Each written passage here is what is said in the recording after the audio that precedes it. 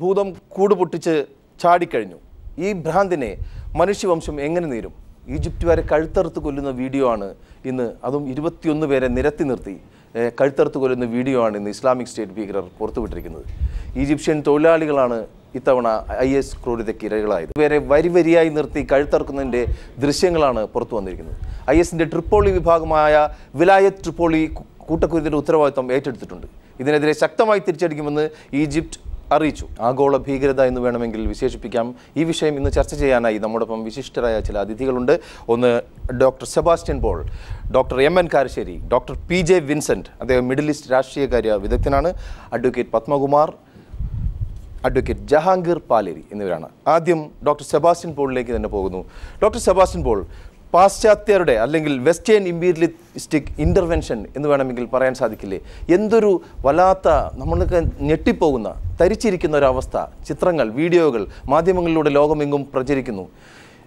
എങ്ങനെയാണ് ഇതിനെ വിശേഷിപ്പിക്കേണ്ടത്? ഇത് യഥാർത്ഥത്തിൽ എന്താണ്? ഇത് ഇത് ഒരു മതം ഉയർത്തി ഉയർത്തിക്കാട്ടുന്ന സിദ്ധാന്തങ്ങളുടെ ഒരു പകർപ്പാണോ? എങ്ങനെയാണ് നമുക്കതിനെ കാണാൻ സാധിക്കുക? Doctor Sebastian Paul. അല്ല നമ്മളിന്ന് ഈ ദൃശ്യങ്ങൾ പൂർണമായും നമുക്ക് കാണാൻ കഴിഞ്ഞിട്ടില്ല കാണുന്നത് കാണിക്കുന്നത് ശരിയുമല്ല. പക്ഷേ നമുക്ക് മനസ്സിലായി അവിടെ എന്താണ് സംഭവിച്ചതെന്ന്. വാക്കുകൾ കൊണ്ട് വിവരിക്കാൻ കഴിയാത്ത നൃശംസത എന്ന് തന്നെ പറയേണ്ടി വരും. ആദ്യമായ ക്രൂരത. ഇതിലൊന്നും മനുഷ്യരെന്ന് പറയാൻ കഴിയില്ല. പക്ഷെ നമുക്ക് ഇതിനെ മതവുമായി ബന്ധപ്പെടുത്തി ചർച്ച ചെയ്യാതിരിക്കുന്നതാണ് നല്ലത്. പക്ഷേ അവരത് സമ്മതിക്കുന്നില്ല. ഇസ്ലാമിക് സ്റ്റേറ്റ് എന്ന് പറയുമ്പോൾ ഇസ്ലാമിക എന്ന വിശേഷണം അവർ തന്നെയാണ് മുന്നോട്ട് വയ്ക്കുന്നത്. അത് ഇസ്ലാമിന് അപമാനകരമാണ് ഇസ്ലാമിനെ അധിക്ഷേപിക്കുന്ന തുല്യമാണ്. പക്ഷേ നമുക്ക് അതിനെ മതവുമായി ഇതെങ്ങനെ മതവുമായി ബന്ധപ്പെടുത്താൻ കഴിയും? ഐ എസ് ക്രൂരത കാണിക്കുന്നത് ക്രി- ക്രിസ്ത്യാനികളോട് മാത്രമല്ല മുസ്ലിങ്ങളോട് പല മുസ്ലിം വിഭാഗങ്ങളോട് എല്ലാം അവർ ഇതേ സമീപനം കാണിക്കുന്നുണ്ട്. എന്താണ് അവരുടെ ആവശ്യം? എന്താണ് അവരുടെ അജണ്ട എന്ന കാര്യത്തിലുള്ള ദുരൂഹത ഇനിയും മാറിയിട്ടില്ല. അതിൽ വ്യക്തത കൈവരികയുമില്ല. അതുകൊണ്ട് ഇതിനെ എപ്രകാരം ഈ ഭീകരതയെ കൈകാര്യം ചെയ്യണം?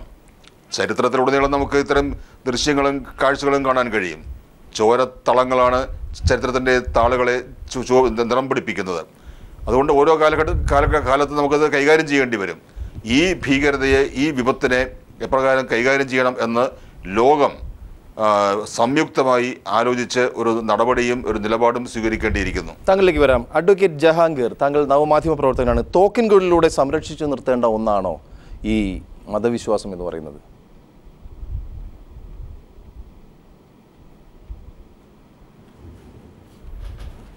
ആ, എനിക്ക് തോന്നുന്നു ശ്രീ പ്രദീപ് ഈ ചാനൽ ചർച്ചകളിൽ എന്നോട് ചോദിച്ചിട്ടുള്ള ഏറ്റവും ചുരുങ്ങിയ ഏറ്റവും ചുരുങ്ങിയ വാക്കുകളുള്ള ഒരു ചോദ്യമാണ് തോക്കും കുടലുകളിലൂടെ സംരക്ഷിച്ചു നിർത്തേണ്ടതാണെന്നോ മതവിശ്വാസം? എന്നുള്ള ചോദ്യം. വളരെ പ്രസക്തമാണ് ആ ചോദ്യം.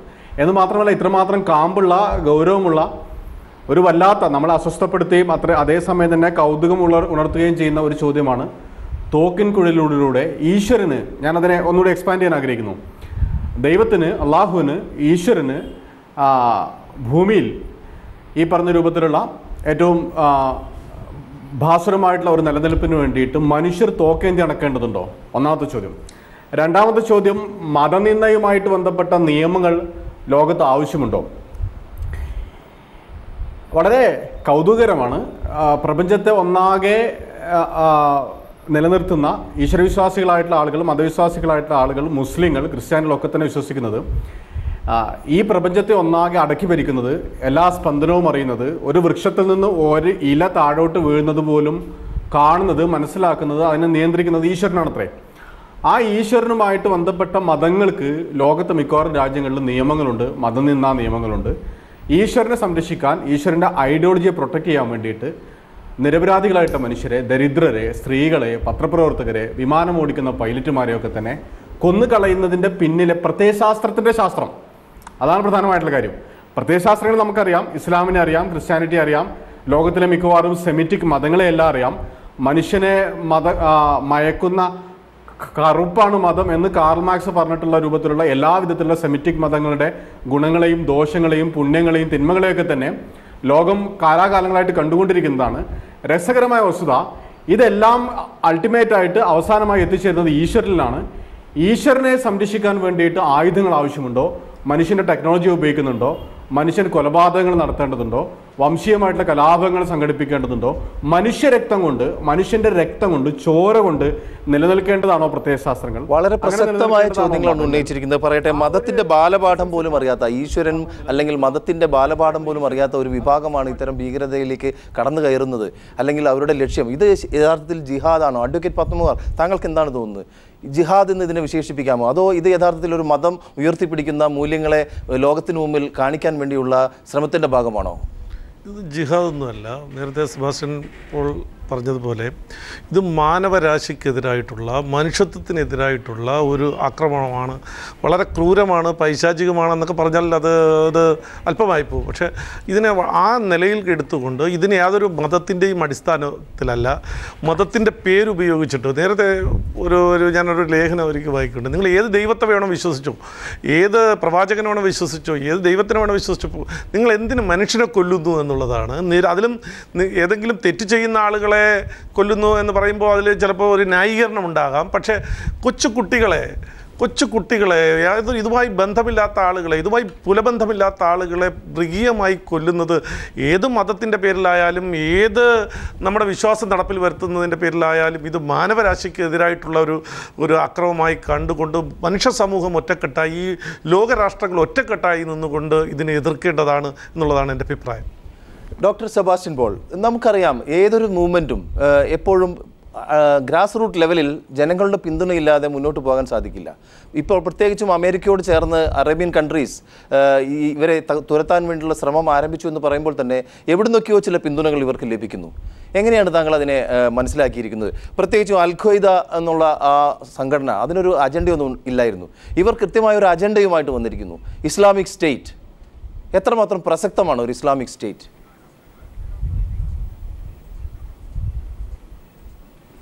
അല്ല അൽ ഖ്വയ്ദയായാലും താലിബാൻ ആയാലും ഇപ്പോൾ ഐ എസ് ആയാലും അവിടെ മുതൽ നമ്മുടെ നാട്ടിൽ നടക്കുന്ന ചെറുകിട സ്ഫോടനങ്ങൾ വരെ ഇതൊക്കെ വൻതോതിൽ സ്പോൺസർ ചെയ്യുന്നതിന് സാമ്പത്തികമായ സഹായം നൽകുന്നതിന് ആരെങ്കിലും ഇല്ലെങ്കിൽ ഇത് ചെയ്യാൻ കഴിയില്ല.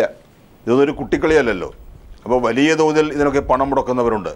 ആ പണം മുടക്കുന്നത് ആര് എന്ന ചോദ്യത്തിന് ആരും കൃത്യമായി ഉത്തരം നൽകാറില്ലെങ്കിലും നമുക്കെല്ലാം അറിയാം. ഇത് ചില അറേബ്യൻ മേഖലയിൽ തന്നെയുള്ള വലിയ രാജ്യങ്ങൾ പണമുള്ള പണക്കൊഴുപ്പിൽ അവർക്ക് മറ്റൊന്നും ചെയ്യാനില്ല. അവരാണ് ഇതിന് പണം നൽകുന്നത് സഹായിക്കുന്നത്.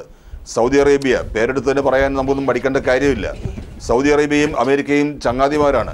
അപ്പോൾ ഇവിടെ എങ്ങോട്ട് പോകുന്നു? ആര് ആർക്കെതിരെ ആരാണ് ഇതൊക്കെ സംഘടിപ്പിക്കുന്നത് സ്പോൺസർ ചെയ്യുന്നത്? അക്കാര്യം മനസ്സിലാക്കാൻ കഴിയാത്ത അവസ്ഥയിൽ കാര്യങ്ങൾ എത്തി നിൽക്കുകയാണ്. മറ്റൊന്ന് ഇത് ഇറാഖിലും ലിബിയയിലും ഈ സംഭവങ്ങൾ നടക്കുമ്പോൾ ആ രണ്ട് രാജ്യങ്ങളിലും നമുക്ക് ഇഷ്ടപ്പെട്ടാലും ഇല്ലെങ്കിലും അവിടെ രണ്ട് ശക്തരായ ഭരണാധികാരികളുണ്ടായിരുന്നു. ഇത്തരത്തിലുള്ള ഘടകങ്ങളെ അമർച്ച ചെയ്തവർ സദ്ദാം ഹുസൈനും ഗദാഫിയും അവരെയൊക്കെ വകവരുത്തിയപ്പോൾ അതിന്റെയൊക്കെ തിക്തഫലം കൂടിയാണ് ഇപ്പോൾ ലോകം അനുഭവിക്കുന്നത്. പുറമേ നിന്നുള്ള ഇടപെടലിനേക്കാൾ ഉപരിയായി ആ രാജ്യങ്ങളിൽ തന്നെ സദ്ദാം ഹുസൈനെ പോലെയോ മുഹമ്മദ് ഗദ്ദാഫിയെ പോലെയോ കരുത്തരായ നേതാക്കന്മാർ ഇനിയും ഉയർന്നു വരേണ്ടിയിരിക്കുന്നു. അത് ഈ പ്രതിസന്ധിയിൽ അങ്ങനെ സംഭവിച്ചു കൂടാ എന്നില്ല. അങ്ങനെ മാത്രമേ അടിച്ചമർത്താൻ നമുക്ക് ഇതിനെ കാരശ്ശേരി ഇപ്പോൾ ഡോക്ടർ സെബാസ്റ്റ്യൻ പൊള്ളിക്ക് തിരിച്ചു വരാം. കാരശ്ശേരി മാഷെ മയക്കുമരുന്ന് അതോടൊപ്പം ആയുധ കള്ളക്കടത്ത് പണം ഇത്തരം ഒക്കെ കാര്യങ്ങൾ ആഗോളതലത്തിൽ കൈകാര്യം ചെയ്യുന്ന വലിയൊരു സിൻഡിക്കേറ്റ് ഉണ്ടെന്ന് നമുക്കറിയാം. ഈ സിൻഡിക്കേറ്റിന്റെ ഭാഗമായി വരുന്ന ഒരു ഒരു നിസ ഒരു ഒരു തെറ്റ് പോലും ചെയ്യാത്ത ആളുകളെ പിടിച്ചു കൊണ്ടുപോയി ബന്ദിയാക്കി വിലപേശി കോടികൾ അല്ലെങ്കിൽ മയക്കുമരുന്ന് ഇതെല്ലാം ചെയ്യുന്ന ഒരു സംഘമല്ലാതെ ഇത് എന്ത് ജിഹാദ് എന്നാണ് ഇതിനെ പറയുന്നത്? താങ്കൾ ശ്രദ്ധിച്ചു കാണുമല്ലോ. ഡോക്ടർ കാരശ്ശേരി ഇസ്ലാമിക് സ്റ്റേറ്റ് എന്ന് പറയുന്ന ഇപ്പോ നമ്മൾ ചർച്ച ചെയ്യുന്ന ഭീകര സംഘവും ഇതിന് മുൻപത്തെ അൽ ഖായിദ താലിബാൻ ബോക്കോ ഹറാം തുടങ്ങിയുള്ള സംഘങ്ങളൊക്കെ അവർക്ക് ആയുധത്തിന്റെ സഹായം ആശയത്തിന്റെ സഹായം അങ്ങനെ പലതും ഉണ്ട്. അതായത് ഇപ്പോ ഇതിലൊക്കെ പ്രവർത്തിക്കുന്നത് പ്രധാനമായും സൗദി അറേബ്യയിൽ രൂപം കൊണ്ട വഹാബിസം ഈ ഈജിപ്തിൽ രൂപം കൊണ്ട ബ്രദർഹുഡ് ഇന്ത്യയിൽ രൂപം കൊണ്ട ജമാഅത്തെ ഇസ്ലാമി എന്നീ മൂന്ന് പ്രസ്ഥാനങ്ങളുടെ ആശയപരമായ പിന്തുണ ഇതിനുണ്ട്. വഹാബിസം എന്ന് പറയുന്നത് പതിനെട്ടാം നൂറ്റാണ്ടിലാണ്. ബ്രദർഹുഡ് എന്ന് പറയുന്നത് ആയിരത്തി തൊള്ളായിരത്തി ഇരുപത്തി എട്ടിലാണ് ഈജിപ്തിൽ പ്രവർത്തനം ആരംഭിച്ചത്. ആയിരത്തി തൊള്ളായിരത്തി നാൽപ്പത്തി ഒന്നിലാണ് ജമായത്തെ ഇസ്ലാമി ഇന്ത്യയിൽ പ്രവർത്തനം ആരംഭിച്ചത്. അപ്പൊ എന്താ കാര്യം എന്ന് വിചാരിച്ചാൽ ഇസ്ലാമിസം അതായത് രാഷ്ട്രീയ ഇസ്ലാം ഇസ്ലാമിക രാഷ്ട്ര സ്ഥാപനത്തിന് വേണ്ടി പോരാടി മരിക്കുക അല്ലെങ്കിൽ കൊല്ലുക അത് രണ്ടും ഒരുപോലെ പുണ്യകർമ്മമാണ് എന്നും ഒരു മുസ്ലിമിന്റെ കർമ്മം ഇസ്ലാമിക രാഷ്ട്ര സ്ഥാപനത്തിന് വേണ്ടി മരിക്കാനോ കൊല്ലാനോ തയ്യാറായി പോരാടുകയാണ് എന്നുമുള്ള ആദർശം. പതിനെട്ടാം നൂറ്റാണ്ടിലും ഇരുപതാം നൂറ്റാണ്ടിലും ഈ രാജ്യങ്ങളിൽ പ്രവർത്തിക്കുന്നുണ്ട്. അതിലിപ്പോ ഏറ്റവും പ്രധാനമായി പ്രവർത്തിക്കുന്നത് ഈജിപ്തിലെ ബ്രദർഹുഡാണ്. സൗദി ഭരണകൂടം ഇന്ന് നിലവിൽ നിൽക്കുന്ന സൗദി രാജവംശത്തിന്റെ സ്ഥാപനത്തിന് കാരണമായി തീർന്ന പ്രവർത്തനങ്ങൾ അറേബ്യയിലെ നജിദിൽ ആരംഭിച്ചത് എന്റെ ഓർമ്മ ശരിയാണെങ്കിൽ ആയിരത്തി എഴുന്നൂറ്റി നാൽപ്പത്തി ഒന്നിലാണ് അപ്പോ ആ ഒരു ആശയം അവിടെ കിടപ്പുണ്ട്. പിന്നെ ഇതിൽ വേറൊരു കാര്യമുള്ളത് ഈ മയക്കുമരുന്ന് ഒന്നും മനസ്സിലാവുന്നില്ല എന്ന് പറഞ്ഞല്ലോ. അത് വളരെ ലളിതമാണ്. കാരണം അവരുടെ സിദ്ധാന്തം അനുസരിച്ച് ഇപ്പൊ കഞ്ചാവോ കറുപ്പോ മയക്കുമരുന്നോ ഉപയോഗിക്കുന്ന ഒരാൾ മുസ്ലിമല്ല. അത് അമുസ്ലിമാണ്. അപ്പൊ അമുസ്ലിമിന് ഈ മയക്കുമരുന്ന് വിറ്റാൽ രണ്ട് കാര്യമുണ്ട്. ഒന്ന് നമുക്ക് കാശ് കിട്ടി രണ്ട് അവൻ നശിച്ചു. അപ്പൊ അത് വേറെ ഒരു യുദ്ധമായിട്ടാണ് അവർ മനസ്സിലാക്കുന്നത്. തോക്കെടുത്ത് യുദ്ധം ചെയ്യുന്നത് പോലൊരു ഏർപ്പാടാണ് ഇവന് മയക്കുമരുന്ന് വെക്കുന്നത്. അല്ല ഡോക്ടർ കാരശ്ശേരി ഞാൻ ചോദിക്കുന്നുണ്ട്. ഞാൻ ഒരു കാര്യം ചോദിച്ചോട്ടെ. ഈ ബ്ലാക്ക് ആൻഡ് വൈറ്റ് ഐഡിയോളജി എങ്ങനെയാണ് അത് പ്രാവർത്തികമാവുക? ഇന്നത്തെ നവസമൂഹത്തിൽ ഞങ്ങൾക്ക് ഇഷ്ടമില്ലാത്ത എല്ലാവരും ഞങ്ങൾ കഴുത്തറക്കും എന്ത് ജിഹാദിയാണ് ഇത് ഇതെന്താ- ഇതെന്താന്ന് വിചാരിച്ചാൽ ഇത് ഇറാനെതിരായിട്ട് അമേരിക്ക ഇത് ഉപയോഗിച്ചു. അതുപോലെ അഫ്ഗാനിസ്ഥാനിൽ കമ്മ്യൂണിസ്റ്റുകൾക്കെതിരായിട്ട് ഇത് ഉപയോഗിച്ചു. ഇറാനിൽ അവർ ഉപയോഗിച്ചത് അവിടുത്തെ ഇസ്ലാമിസത്തെ എതിർത്ത അമേരിക്ക അഫ്ഗാനിസ്ഥാനിലെ താലിബാന്റെ ഇസ്ലാമിസത്തെ അനുകൂലിച്ചു. അമേരിക്കയുടെ താല്പര്യങ്ങളാണ് ഇതൊക്കെ. അപ്പൊ സദ്ദാം ഹുസൈന് പിന്തുണ കൊടുക്കുമ്പോൾ അതൊരു സുന്നി ഭരണാധികാരിക്ക് പിന്തുണ കൊടുക്കുകയാണ്. കാരണം സദ്ദാം ഹുസൈൻ അന്ന് ഇറാനെതിരാണ്. ഇപ്പോഴത്തെ ഇസ്ലാമിക് സ്റ്റേറ്റ് എന്ന് പറഞ്ഞാൽ വളരെ സങ്കീർണമായ ഒരു സാധനമാണ്. കാരണം സൗദി അറേബ്യയെ സൃഷ്ടിച്ച വഹാബിസത്തിന്റെ സിദ്ധാന്തങ്ങളാണ് ഇവർ കൊണ്ടു നടക്കുന്നത്. പക്ഷേ അവർ ലക്ഷ്യം വെക്കുന്ന ഭരണകൂടങ്ങളിൽ ഒന്ന് സൗദി ഭരണകൂടമാണ് കാരണം അവിടെ ഉള്ളത് ഖിലാഫത്തല്ല. ഞങ്ങളുടെ ഖലീഫ അയാളെ തോൽപ്പിച്ചിട്ട് അവിടെ ഖിലാഫത്ത് സ്ഥാപിക്കുന്നവർ പറയുന്നു. അപ്പൊ സൗദി ഭരണകൂടത്തിലും അവിടുത്തെ ജനങ്ങളിലും രണ്ട് അംശമുണ്ട്. കാരണം ഇവർ പൊരുതുന്നത് ഷിയാക്കൾക്കെതിരായിട്ടാണ്. അപ്പോ അസദിന്റെ സിറിയയിലെ അസദിന്റെ ഭരണകൂടത്തിനെതിരായിട്ടും ഇറാനിലെ ഷിയ ഭരണകൂടത്തിനെതിരായിട്ടുമാണ് ഇവർക്ക് ഒന്ന് പൊരുതാനുള്ളത്. അപ്പൊ ഷിയാക്കൾക്കെതിരായ സുന്നി ശക്തിയായിട്ട് ഇതിനെ കാണുന്ന അറബ് രാജ്യങ്ങളുണ്ട്. നേരെ മറിച്ച് ഇത് സൗദി അറേബ്യക്ക് തന്നെ ആപത്തായി തീരുന്ന ഒരു സാധനമാണ് എന്ന് വിചാരിക്കുന്ന ആളുകളുണ്ട്. ഇതിന് ഒരു കാലത്ത് തീർച്ചയായിട്ടും അമേരിക്ക പിന്തുണ കൊടുത്തിട്ടുണ്ട്. ഇവർക്ക് ആധുനികമായ ആയുധങ്ങൾ കൊടുത്തതും അത് ഉപയോഗിക്കാൻ പരിശീലിപ്പിച്ചതൊക്കെ വിദേശ രാജ്യങ്ങളാണ് പാശ്ചാത്യ രാജ്യങ്ങളാണെന്നുള്ളതിന് സംശയമില്ല. ഇപ്പോ ഇവരെ ആരൊക്കെ സാമ്പത്തികമായിട്ടും ആയുധം കൊണ്ടും സഹായിക്കുന്നുണ്ടെന്നുള്ളത് വ്യക്തമല്ല. മാഷിലേക്ക് തിരിച്ചു വരാം. കാരശ്ശേരി മാഷിലേക്ക് ഇപ്പോൾ തന്നെ തിരിച്ചു വരാം. Doctor P J Vincent middle east രാഷ്ട്രീയകാര്യ വിദഗ്ധനാണ്. ഡോക്ടർ വിൻസെന്റ് ഞാനൊന്ന് ചോദിക്കട്ടെ ഈ ക്രിമിനൽ സിൻഡിക്കേറ്റിനെ ഹാൻഡിൽ ചെയ്യാൻ നമുക്ക് എങ്ങനെ സാധിക്കും? അതായത് ഒരു സാമ്പ്രദായികമായിട്ടുള്ള ഒരു പരിഹാരം നമുക്ക് പറയാൻ സാധിക്കില്ല. കാരണം ഈ കൂടുതൽ ഈ വാർഫെയർ തന്നെ ഒരിക്കലും ഇൻസ്റ്റിറ്റ്യൂഷണലൈസ്ഡ് അല്ല. താങ്കൾ എന്തു പറയുന്നു?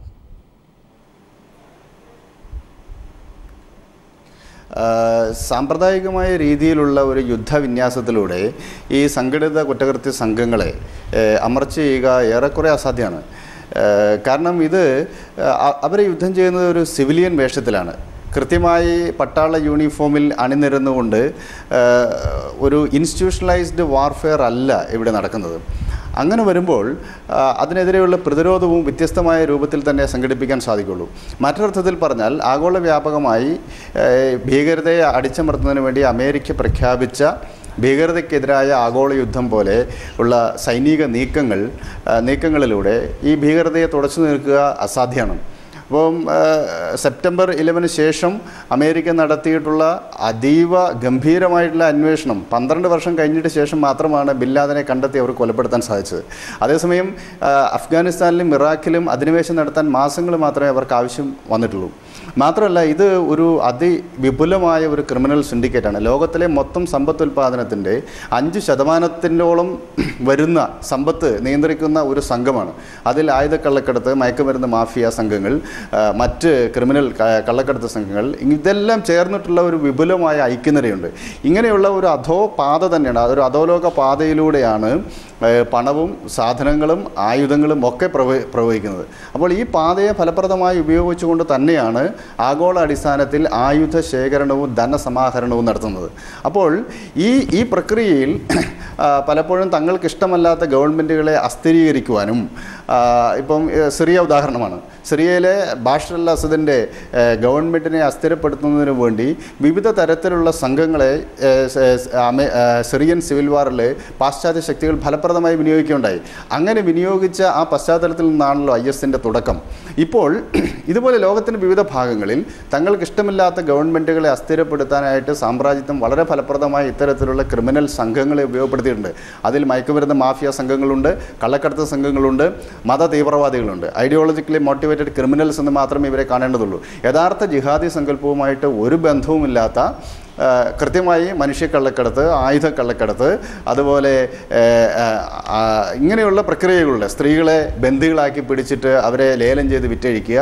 ഇങ്ങനെ മാനവ മനുഷ്യത്വ വിരുദ്ധമായ മാർഗങ്ങളിലൂടെ പണം സമ്പാദിക്കുകയും ആ പണം ഉപയോഗിച്ച് ആയുധങ്ങൾ സംഭരിക്കുകയും ആ ആയുധങ്ങൾ ഉപയോഗിച്ച് തികച്ചും മനുഷ്യത്വരഹിതമായ പ്രവർത്തനങ്ങൾ ഏർപ്പെടുകയും ഒരു സംഘമാണ്. ഇതുവരെ ഈ ഐ എസ് ക്രിമിനലുകളെ ഏ, ഐ എസ് ക്രിമിനൽ താങ്കൾ കേൾക്കുന്നുണ്ടോ? ഐ എസ് ക്രിമിനൽ ക്രിമിനലുകളുടെ ഇത്തരം ഭീകരത ഇറാഖിൽ നിന്നാണ് അധികം റിപ്പോർട്ട് ചെയ്യുന്നത്. ഇപ്പോൾ മറ്റു രാജ്യങ്ങളിലേക്കും കൂടി അത് കടന്നു കയറുന്നു. കൂടുതൽ പ്രദേശങ്ങളിലും രാഷ്ട്രങ്ങളിലേക്കും വരുന്നു. അതായത് വല്ലാത്തൊരവസ്ഥയാണ്. ഇത് ഇത് എങ്ങനെയാണ് ഇതിനെ തടഞ്ഞു നിർത്താൻ സാധിക്കുക? ഇതിന്റെ ഒരു വിന്യാസം എങ്ങനെയാണ് ഇവർ കോർഡിനേറ്റ് ചെയ്യുന്നത്? എങ്ങനെയാണ് താങ്കൾ അതിനെ പഠിച്ചിരിക്കുന്നത്? അല്ല ഇതിന്റെ ഏറ്റവും പ്രധാനപ്പെട്ട കാരണം ഇന്നത്തെ സാഹചര്യത്തിൽ ഈ അൽഖയ്ദയുടെ പ്രവർത്തനം ഒരു അംബ്രല ഓർഗനൈസേഷനാണ്. ലോകത്തിന്റെ വിവിധ ഭാഗങ്ങളിലുള്ള ഈ ഇസ്ലാമിക തീവ്രവാദ സംഘങ്ങളെയും ഭീകര സംഘങ്ങളെയും കോർഡിനേറ്റ് ചെയ്യുന്ന ഒരു പോയിന്റായിരുന്നു അൽഖ്വയ്ദ എന്നാൽ ബില്ലാദിന്റെ കൊലപാതകത്തോടു കൂടി ബില്ലാദിനെ കൊന്നതോടുകൂടി സ്വാഭാവികമായിട്ടും അൽഖയ്ദയ്ക്ക് ഒരു ഒരു ഓർഗനൈസിങ് പോയിന്റ് എന്ന സ്ഥാനം നഷ്ടപ്പെട്ടു. തൽസ്ഥാനത്തേക്ക് ഇപ്പോൾ വളരെ പെട്ടെന്ന് ഉയർന്നു വന്നത് ഐ എസ് ആണ്. ഐ എസിന്റെ മിന്നുന്ന വിജയം ചുരുങ്ങിയ സമയത്തിനുള്ളിൽ അതീവ ഗംഭീരമായ ലൈറ്റനിങ് വിക്ടറിയാണ് അവർ ഇറാഖിലും സിറിയയിലും ഉണ്ടാക്കിയത്. അതോടുകൂടി ആഗോള ജിഹാദി പ്രസ്ഥാനത്തിന്റെ ഫോക്കൽ പോയിന്റിലേക്ക് ഐ എസ് വന്നു. മാത്രമല്ല ഐ എസിന്റെ ഏറ്റവും വലിയ പ്രത്യേകത അൽഖ്വയ്ദയ്ക്കൊന്നും കഴിയാത്ത വലിയ മുന്നേറ്റം അവരുണ്ടാക്കിയിട്ടുണ്ട്. അതിൽ മൂവായിരത്തോളം പോരാളികൾ യൂറോപ്പിൽ നിന്നുള്ളവരാണെന്നാണ് ഏറ്റവും വലിയ പ്രത്യേകത. ഇപ്പോൾ തന്നെ ഈ ഇരുപത്തൊന്ന് കോപ്റ്റിക് ക്രിസ്ത്യാനികളെ കഴുത്തറത്ത് കൊന്ന വീഡിയോ ടേപ്പിൽ നോർത്ത് അമേരിക്കൻ അസെന്റിലുള്ള ഇംഗ്ലീഷാണ് പറയുന്നത്. എന്ന് തീർച്ചയായും. അത് വളരെ നല്ലൊരു നിരീക്ഷണമാണ്. അറബികൾ മാത്രമല്ല യൂറോപ്യൻ രാജ്യങ്ങളിൽ നിന്നും ഒക്കെയുള്ളവർ ഇതിൽ ഇത്തരം ഏർപ്പാടുകളിലുണ്ട് എന്നുള്ള റിപ്പോർട്ടുകൾ പല സ്ഥലത്തു നിന്നും ഉയർന്നു വരുന്നുകൊണ്ട് ഒരു സമൂഹത്തിന്റെ സാംസ്കാരിക ഔന്നത്യം നമ്മൾ വിലയിരുത്തേണ്ടത് അവർക്കിടയിൽ ജീവിക്കുന്ന ന്യൂനപക്ഷങ്ങളോട് അവർ എങ്ങനെ പെരുമാറുന്നു എന്നത് കൂടിയാണ്. Ideology ideologically motivated criminal syndicate എന്ന് നമുക്ക് ഈ ഇന്നത്തെ സംഭവവികാസത്തെ നമുക്ക് ചുരുക്കി വിശദീകരിച്ചുകൂടെ ഡോക്ടർ സെബാസ്റ്റ്യൻ പോൾ. എവിടെയാണ് ഇവരുടെ ഐഡിയോളജി ഉള്ളത്? ഐഡിയോളജി ഉയർത്തിക്കാട്ടുക എന്നതിനപ്പുറത്ത് അതും അത് മറയാക്കിക്കൊണ്ടുള്ള വല്ലാത്ത ക്രൈമല്ലേ ഇവിടെ നടക്കുന്നത്?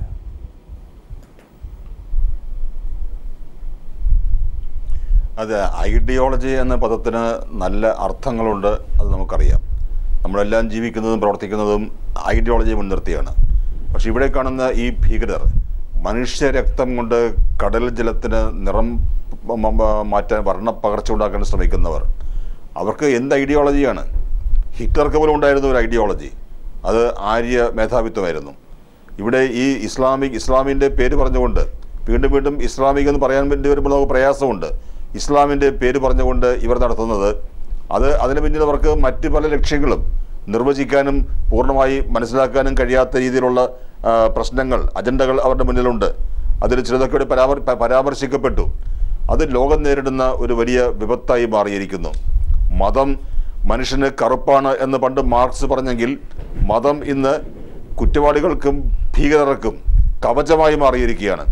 ഇങ്ങനെ മതങ്ങൾ ഈ ലോകത്ത് ആവശ്യമുണ്ടോ എന്ന് പോലും ചോ ചോദിക്കാൻ പ്രേരിപ്പിക്കുന്ന വിധത്തിൽ മതങ്ങളുടെ പേരിലുള്ള ദുരുപയോഗം അത് വല്ലാതെ വർദ്ധിച്ചിരിക്കുന്നു.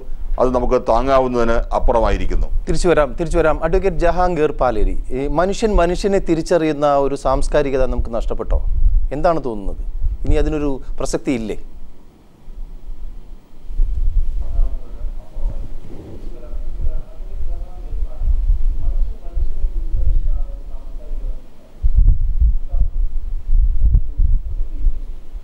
അഡ്വക്കേറ്റ് ജഹാംഗീർ താങ്കൾക്ക് കേൾക്കാമോ?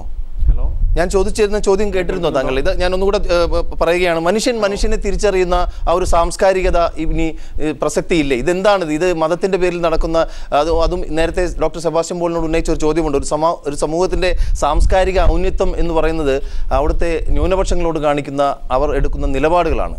എങ്ങനെ പ്രതികരിക്കുന്നു?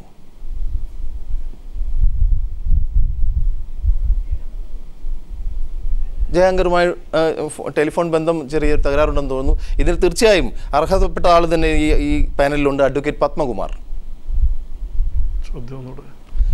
ഒരു ഒരു സമൂഹത്തിന്റെ സാംസ്കാരിക ഔന്നത്യം തിരിച്ചറിയപ്പെടുന്നത് അവർ ആ നാട്ടിലെ ന്യൂനപക്ഷങ്ങളോട് കാണിക്കുന്ന പെരുമാറ്റത്തിന്റെ അടിസ്ഥാനത്തിലാണ്. അല്ല ന്യൂനപക്ഷം ഒന്ന് ഭൂരിപക്ഷം എന്നുള്ള താങ്കൾ പറഞ്ഞത് ശരിയാണ്. ന്യൂനപക്ഷ സമൂഹ സമൂഹം നമ്മളെപ്പോഴും ഉണ്ടാവുമ്പോഴും അവരെ കൈപിടിച്ച് പൊതുധാരയിലേക്ക് കൊണ്ടുവരിക എന്നുള്ളത് ഭൂരിപക്ഷ സമുദായത്തിന്റെ സമൂഹത്തിന്റെ ഒരു ബാധ്യത. പക്ഷേ അത് പലപ്പോഴും ഇന്ന് നമുക്കത് അങ്ങനെ പലതും കാണാൻ കഴിയുന്നില്ല. ഇപ്പോൾ ഇന്ത്യ പൊതുവിൽ ഈ ഇന്ത്യ ലോകത്ത് കണ്ടുവരുന്ന ഒരു ഒരു കാര്യം ഞാൻ എടുത്ത് പരിശോധിച്ചാൽ ഈ രീതിയിലുള്ള തീവ്രവാദ പ്രവർത്തനങ്ങളിൽ ഏർപ്പെടുന്ന സംഘടനകളാണ് മറ്റുള്ളവരായാലും അവർ മൈനോറിറ്റി ആകുന്ന വളരെ വളരെ നിഗ്ലിജിബിൾ ആയിട്ടുള്ള മൈനോറിറ്റി ആവുമ്പോൾ അവർ ഈ പ്രശ്നങ്ങളൊന്നും ഉണ്ടാക്കാറില്ല. ലോ ഓഫ് ദി ലാൻഡ് ആ രാജ്യത്തിന്റെ നിയമം അനുസരിച്ച് ജീവിക്കാൻ അവർ തയ്യാറാകും പത്തോ ഇരുപതോ ശതമാനം മൈനോറിറ്റി എന്നുള്ള നിലയിൽ അവരുണ്ടാകുമ്പോൾ ആ അവർ ചെയ്യുന്ന കാര്യം എന്ന് പറഞ്ഞാൽ അവർ ന്യൂനപക്ഷത്തിന്റെ അവകാശം പിടിച്ചു വാങ്ങി അതിന് ശക്തി അത് പിടിച്ചു വാങ്ങി അത് ഞങ്ങളുടെ അവകാശമാണെന്ന് പറഞ്ഞുകൊണ്ട് അതിനനുസൃതമായിട്ട് ജീവിക്കുന്നതിന് ഒരു ശ്രമം നടത്തും.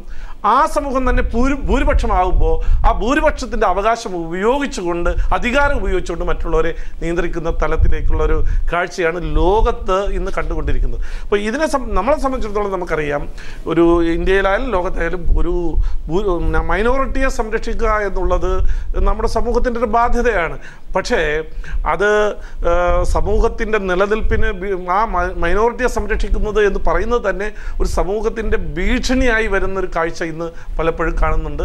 ഈ മൈനോറിറ്റി എന്നുള്ള റൈറ്റ് ഉപയോഗിച്ചുകൊണ്ട് തന്നെ ഞാൻ ഇന്ത്യയിലാണ് പ്രത്യേകിച്ച് കൂടുതൽ മൈനോറിറ്റി റൈറ്റ് ഉപയോഗിച്ചുകൊണ്ട് ഭൂരിപക്ഷത്തെ അവകാശത്തെ ധംസിപ്പിക്കുന്ന നടപടികൾ പല സ്ഥലത്തും നമുക്ക് തിരിച്ചു വരാം തിരിച്ചു വരാം. അഡ്വക്കേറ്റ് ജഹാംഗീറുമായിട്ടുള്ള കണക്ഷൻ കിട്ടിയിട്ടുണ്ട്. അഡ്വക്കേറ്റ് ജഹാംഗീർ താങ്കൾ കേൾക്കാമെങ്കിൽ താങ്കൾക്ക് ഓർമ്മയുണ്ടാവും ഏതാനും ആഴ്ചകൾക്ക് മുൻപ് മുഹമ്മദ് നബിയെ പരിഹസിച്ചുകൊണ്ടുള്ള ഒരു കാർട്ടൂൺ വരച്ചതിന്റെ പേരിൽ ഫ്രാൻസിൽ ഒരുപാട് ജേർണലിസ്റ്റുകളെ വെടിവെച്ചു കൊന്നു. പ്രവാചകനെ സ്നേഹിച്ചോളൂ പക്ഷേ കൊല്ലാതിരിക്കുക മനുഷ്യനെ കൊല്ലേണ്ട ആവശ്യമില്ലല്ലോ.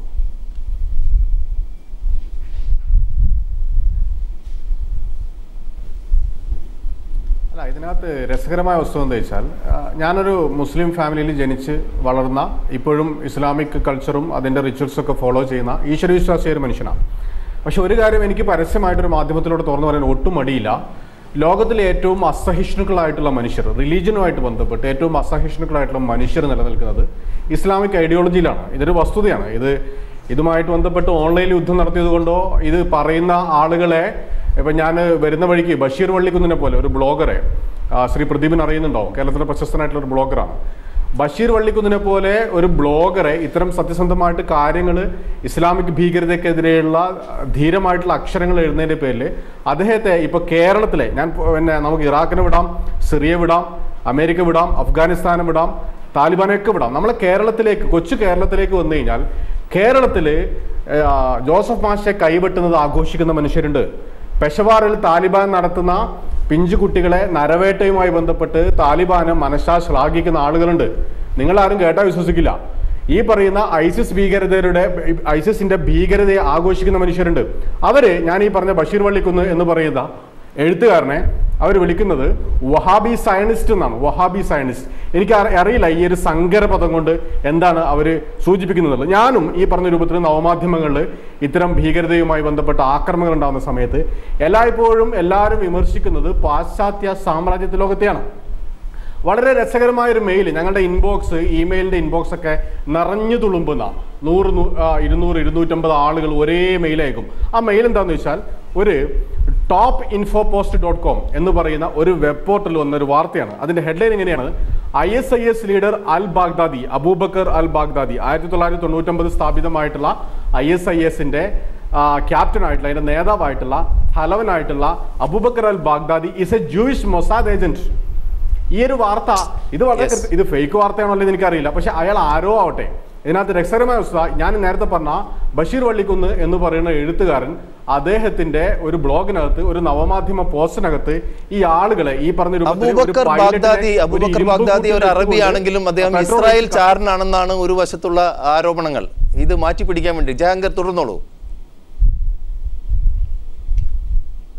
ഞാൻ പറയുന്നത് ശ്രീ പ്രദീപ് മനസ്സിലാക്കൂ ഈ ഒരു അതൊരു ആരോപണമാണോ അതിന്റെ വസ്തുത എന്താണോ എന്തോ ഇരിക്കട്ടെ. ഞാൻ പറയുന്നത് വെച്ചാൽ ഐ എസ് ഐ എസ് ഈ തരത്തിലുള്ള ക്രൂരതകൾ ചെയ്യുന്നത് അതിന്റെ തലപ്പത്തിരിക്കുന്ന ആൾ ഒരു മൊസാദ് ഏജന്റ് ആയതുകൊണ്ട് എന്നാണ് കേരളത്തിലെ മതമൗല മതമൗലികവാദികൾ വിശേഷിപ്പിക്കുന്നത്. അതേസമയം തന്നെ അറ്റ് ദ സെയിം ടൈം ആ മനുഷ്യനെ അല്ലെങ്കിൽ ഐ എസ് ഐ എസിനെ വിമർശിക്കുന്ന സമയത്ത് ഇവരൊക്കെ അങ്ങേയറ്റം മതപരമായിട്ട് വൈകാരികമായിട്ട് വ്രണപ്പെടുന്നു. അപ്പൊ അതുകൊണ്ട് എനിക്ക് തോന്നുന്നത് എന്ന് വെച്ചാൽ നമ്മുടെ കേരളീയ പരിസരത്ത് പോലും മഹാനായ ഇ എം എസിനെ പോലെ ശ്രീനാരായണ ഗുരുവിനെ പോലെ മതേതരത്വത്തിന്റെ മഹത്തായ പാഠങ്ങൾ പഠിപ്പിച്ച മഹാനായ സി എച്ച് മുഹമ്മദ് ഗോയെ പോലുള്ള മനുഷ്യരുടെ പൈതൃകം പേറുന്ന നമുക്ക് പോലും നമ്മുടെ ഇടയിൽ പോലും ഐ എസ് ഐ എസിനും താലിബാനും ഇസ്ലാമിക തീവ്രവാദത്തിനും അനുയായികളുണ്ട് എന്നുള്ളതാണ് ഏറ്റവും doctor Sebastian Paul doctor സെബാസിൻ ball. ആഗോളതലത്തിൽ താങ്കൾക്കറിയാം താങ്കൾ ഒരു മാധ്യമ ഒരു പ്രതിനിധി എന്നുള്ള കൂടി രീതിയിൽ കൂടി ഞാൻ ചോദിക്കുകയാണ്.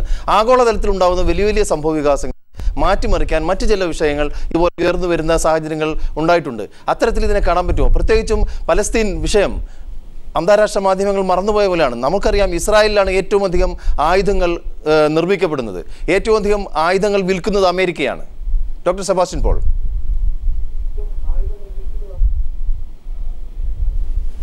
അതെ നമുക്ക് ഇത്തരം വിഷയങ്ങളിൽ വ്യക്തതയോടെ കഴിയാത്തത് ഇത്തരത്തിലുള്ള തങ്ങൾ പലപ്പോഴും കൂടെ കൂടെ ഉണ്ടാകുന്നു. അതൊന്നും അടിസ്ഥാനരഹിതവുമല്ല. ആര് ആരെയാണ് സഹായിക്കുന്നത്? ആര് ആരുടെ താല്പര്യങ്ങൾ സംരക്ഷിക്കുന്നു എന്ന് പറയാൻ കഴിയില്ല. മാധ്യമ പ്രവർത്തനം അത് ആഗോള തലത്തിൽ തന്നെ പോകണമെന്നില്ല നമ്മുടെ കേരളത്തിലാണെങ്കിൽ പോലും വളരെ പ്രധാനപ്പെട്ട പല വിഷയങ്ങളിൽ നിന്നും ജനശ്രദ്ധ തിരിക്കുന്നതിന് മറ്റു ചില സംഭവങ്ങൾ ഉണ്ടാകുന്നു. അതാണ് ഒരു ഒരു- തരത്തിലുള്ള മാധ്യമ പ്രവർത്തനത്തിന്റെ സ്വഭാവം കൂടിയാണത്. വാർത്തകൾ സൃഷ്ടിക്കപ്പെടുന്നു എന്ന് പറയുന്നത് അതുകൊണ്ടാണ്. അതുകൊണ്ട് അന്താരാഷ്ട്ര തലത്തിൽ നമ്മൾ കുറച്ച് മാസങ്ങൾക്ക് മുമ്പല്ലേ പലസ്തീനെക്കുറിച്ച് ഗാസയെക്കുറിച്ച് നമ്മളൊക്കെ ധാരാളം സങ്കടപ്പെട്ടു നമ്മളൊക്കെ ധാരാളം സംസാരിച്ചു. ഇപ്പോൾ അവിടെ എന്ത് സംഭവിക്കുന്നു? പലസ്തീനുകളുടെ പ്രശ്നത്തിന് പരിഹാരമുണ്ടായോ? ഗാസയിൽ സമാധാനമുണ്ടായോ? നമുക്കൊന്നും അറിയില്ല അവിടെ ഒന്നൊരു വാർത്തയും വരുന്നില്ല.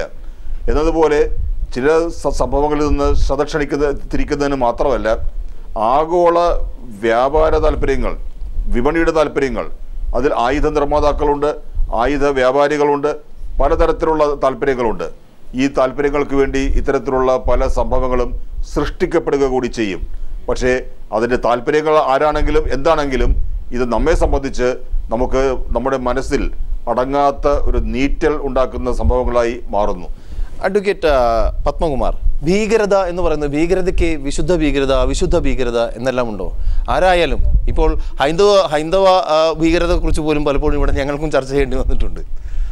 അല്ല ഈ ഭീകരതയ്ക്ക് മതത്തിന്റെ പിന്തുണ ഉണ്ടാവരുത് എന്ന് വിശ്വസിക്കുന്ന ഒരാളാണ് ഞാൻ. ഈ ഇത് ഭീകരതയ്ക്ക് മതമില്ല എന്ന് വിശ്വസിക്കുന്നതാണ് എനിക്കിഷ്ടം.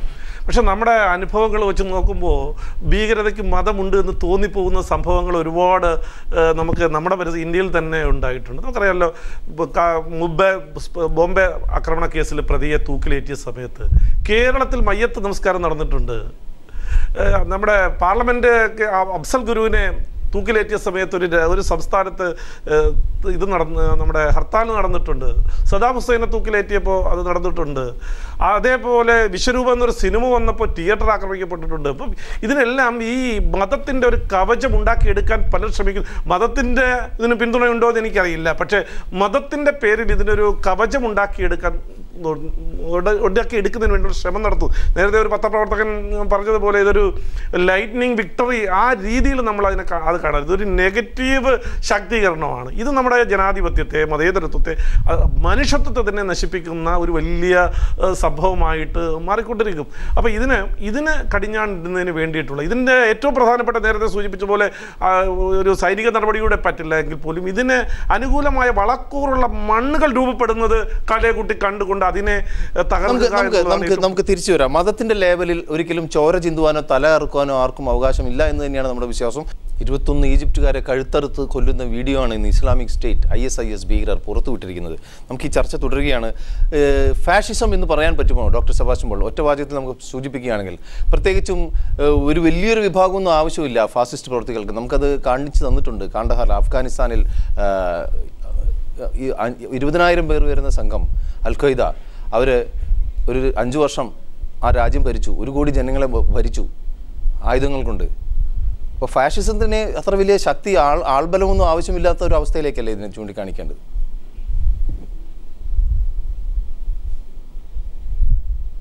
അത് ഇത് എണ്ണം നോക്കിയാൽ ഇത് വളരെ ലഘുവായ ഒരു കാര്യമാണ്. കാരണം ഇത്രയൊന്നും വലിയ സംവിധാനത്തിന്റെ ഒന്നും ആവശ്യമില്ല. ഏതെങ്കിലും ഒരു ഭ്രാന്തന് ഒറ്റയ്ക്ക് ചെയ്യാവുന്ന കാര്യമേ ഉള്ളൂ. അത് ധാരാളം വാർത്തകൾ സമീപകാലത്ത് തന്നെ നമ്മുടെ മുന്നിലുണ്ട്. ഏതെങ്കിലും ഒരു ഭ്രാന്തൻ ഒരു തോക്കെടുക്കുന്നു വിദ്യാലയത്തിൽ കടന്നു ചെല്ലുന്നു നിരവധി പേരെ ഒരുമിച്ച് കൂട്ടക്കൊല നടത്തുന്നു അതൊക്കെ നമ്മൾ കാണാറുണ്ട് കേൾക്കാറുണ്ട്. പക്ഷേ ഇവിടെയുള്ള പ്രസക്തമായ വിഷയം ഒരു ഐഡിയോളജിയെ മുൻനിർത്തി ഒരു മതത്തിന്റെ പേരിൽ ഇത്തരത്തിലുള്ള കൂട്ടക്കൊലകളും സംഭവങ്ങളും അത് നിരന്തരം നടന്നുകൊണ്ടിരിക്കുകയാണ്. ഇവിടെ ഇപ്പോൾ ഇത് നമ്മൾ ഈ ചർച്ച ചെയ്യുമ്പോൾ അതിനേക്കാൾ ഗൗരവമുള്ളൊരു വിഷയമുണ്ട്. ഈജിപ്റ്റ് എന്ന സ്വതന്ത്ര പരമാധികാര രാജ്യത്തിലെ പൗരന്മാരെയാണ് തട്ടിക്കൊണ്ടുപോയി മറ്റൊരു രാജ്യത്ത് അവരെ എത്തിച്ച് ബന്ദികളാക്കി അവരെ അവിടെ കൊലപ്പെടുത്തി. അത് ഈജിപ്തിനെ സംബന്ധിച്ച് നിസ്സാരമായി കാണാവുന്നൊരു കാര്യമല്ല. അത്തരത്തിലുള്ള ഒരു പ്രശ്നമുണ്ടാകുമ്പോൾ അന്താരാഷ്ട്ര ഭീകരത അത് യാസർ അറഫാത്തിന്റെ കാലം മുതൽ പലസ്തീൻ വിമോചന പോരാളികളുടെ കാലം മുതലാണല്ലോ പരിചയമായി തുടങ്ങിയത്. അതൊക്കെ പലതരത്തിൽ പല രൂപത്തിൽ നടന്നുകൊണ്ടിരിക്കുന്നു. അതുകൊണ്ട് എണ്ണം ആണ് പ്രശ്നമെങ്കിൽ നമുക്കത് ലഘുവായി കാണാം. പക്ഷേ എണ്ണത്തേക്കാൾ കവിഞ്ഞ ഗൗരവം ഈ വിഷയത്തിനുണ്ടാകുന്നത് ഇതിൽ മറ്റ് പല പ്രശ്നങ്ങളും അന്തർഭവിച്ചിട്ടുള്ളത് കൊണ്ടാണ്. ആ പ്രശ്നങ്ങളിലേക്ക് നമുക്ക് ചർച്ച കൊണ്ടുപോകാൻ സമയമില്ലെന്ന് തോന്നുന്നു. പക്ഷേ വീണ്ടും ഡോക്ടർ അഡ്വക്കേറ്റ് ജഹാംഗീറിലേക്ക് നമ്മൾ പോവുകയാണ്.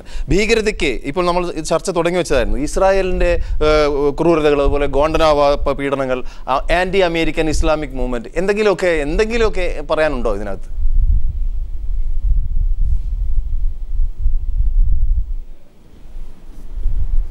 ഞാൻ ശ്രീ പ്രദീപ് ചോദിച്ച ആ ചോദ്യത്തിന് മറുപടി പറയുന്നതിന് മുമ്പ് ഒരു മിനിറ്റ്. അഡ്വക്കേറ്റ് പത്മകുമാർ പറഞ്ഞ ഒരു കാര്യത്തിന് മറുപടി പറയേണ്ടതുണ്ടെന്ന് എനിക്ക് തോന്നുന്നു. അദ്ദേഹം അഫ്സൽ ഗുരുവിനെയും അതുപോലെ തന്നെ സദ്ദാം ഹുസൈനെയും സൂചിപ്പിക്കുകയുണ്ടായി. ഞാനൊരു അഭിഭാഷകനാണ്. ഞാൻ പരിപൂർണമായ ബോധ്യത്തോടു കൂടി ഒരു മാധ്യമത്തിന് മുന്നാകെ ഈ ലോകത്തോട് എന്റെ ഒരു അഭിപ്രായം വിളിച്ചു പറയാൻ എനിക്ക് ആദ്യമായിട്ട് ഒരു ഒരു ഒരു അവസരം കിട്ടുകയാണ്. അഫ്സൽ ഗുരുവിനെ തൂക്കിലേറ്റിയത് ഇന്ത്യൻ ജുഡീഷ്യറിയുടെ ഇന്ത്യൻ നിയമവ്യവസ്ഥയുടെ ചരിത്രാതീത കാലത്തോളം നീണ്ടു നിൽക്കുന്ന ഒരു കറുത്ത പൊട്ടായിരിക്കും എന്നുള്ള കാര്യത്തിൽ എനിക്ക് വ്യക്തിപരമായ നമ്മളും കരുതുന്നില്ല.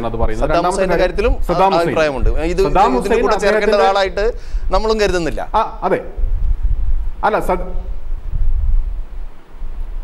അല്ല ഞാൻ അത് വളരെ വേറിട്ട വിഷയമാണ്. അഡ്വക്കേറ്റ് പത്മകുമാർ അത് സൂചിപ്പിച്ചുകൊണ്ട് പറഞ്ഞു മാത്രം. രണ്ടാമത് സദ്ദാം ഹുസൈൻ എന്ന് പറയുന്നത് സാമ്രാജ്യത്വ വിരുദ്ധ പോരാട്ടത്തിന്റെ എക്കാലത്തെയും വലിയ നായകന്മാരുടെ പ്രതീകങ്ങളിലൊന്നായിരുന്നു. അതുകൊണ്ടാണ് സദ്ദാം ഹുസൈന് കേരളത്തിലോ ഇന്ത്യയിലോ അല്ലെങ്കിൽ ലോകത്തിന്റെ നാനാഭാഗങ്ങളിലോ ആരാധകരുണ്ടായത്.